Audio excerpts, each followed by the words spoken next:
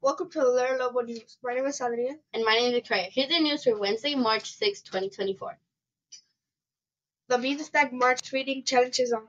Make sure to log your reading minutes. Reminder for all 7th graders, there is a mandatory parent meeting tonight at 5.30 p.m.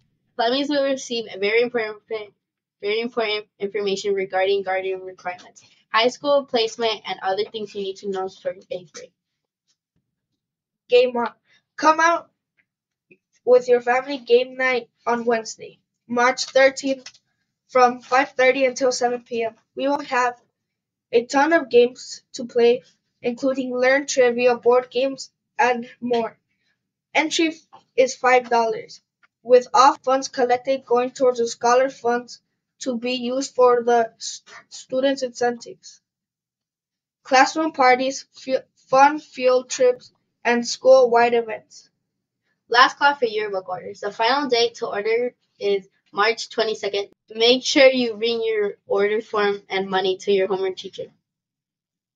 Please rise for the Pledge of Allegiance. Put your right hand over your heart and face the American flag. With us.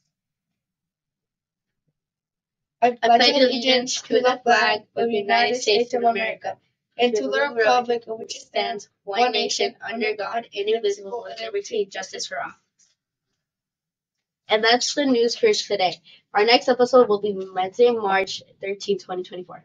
Thanks for watching, and remember, there's no news like the Learn Lobo News.